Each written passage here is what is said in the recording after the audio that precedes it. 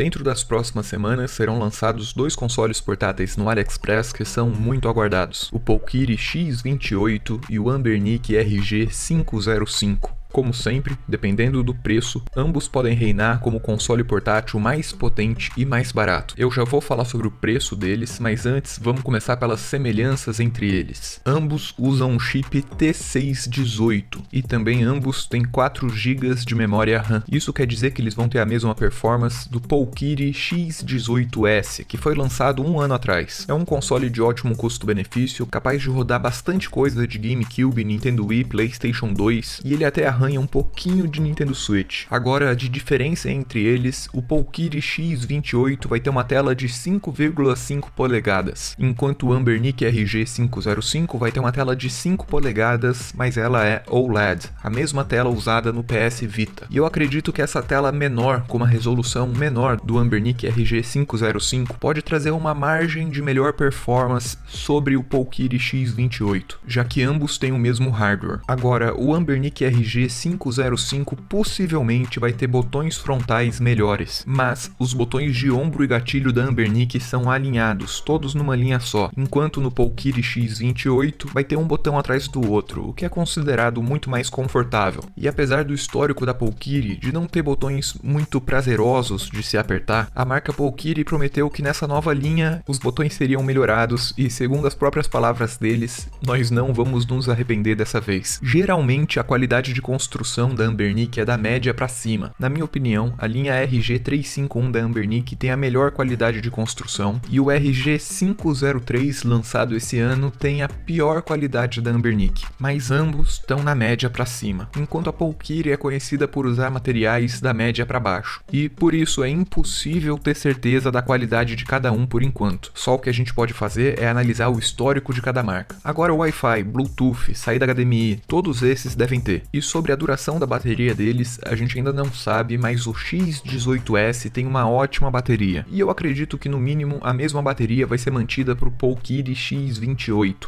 No final das contas, a decisão entre esses dois consoles fica entre esses quatro fatores: a tela, a qualidade de construção, a ergonomia e o mais importante, o preço. O Polkiri X18S custa em torno de 172 dólares. Eu acho quase seguro estimar que o preço do X28 seja nessa faixa, e o Ambernic RG505 foi confirmado pelo meu contato da Ambernic que com certeza vai custar menos que 200 dólares, sendo até um pouco mais barato durante o lançamento que como eu disse no início do vídeo, deve acontecer em algumas semanas. Essa semelhança de preço e hardware entre os dois consoles é muito bom pra gente, consumidor final, porque se a experiência que esses consoles entregam for equivalente, 10 dólares de diferença pode ser o fator decisivo entre um e outro, e quanto mais elas competirem em preço, melhor pra gente. Eu ainda não sei quem vai ser o campeão dessa batalha, eu acho que a Ambernick pode entregar o melhor produto final, mas ao mesmo tempo a Polkiri já tem um ano de experiência com esse chip, então ela pode ter um software melhor desenvolvido e otimizado.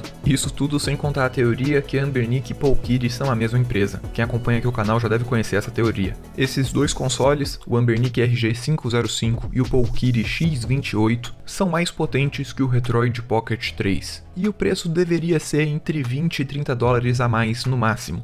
Em resumo, essas duas marcas estão lutando para entregar o console mais potente e mais barato, e o preço das duas tem caído desde o ano passado. Qual você acha que será o preço desses dois novos lançamentos, da Ambernic e da Polkiri? E se você tivesse que escolher entre um ou outro, qual seria? Me conta aqui nos comentários. Se você curte meu conteúdo, lembra de se inscrever aqui no canal, deixa o like. Muito obrigado por fazer parte dessa jornada. Meu nome é Victor Yemini, como sempre. Eu volto no instante.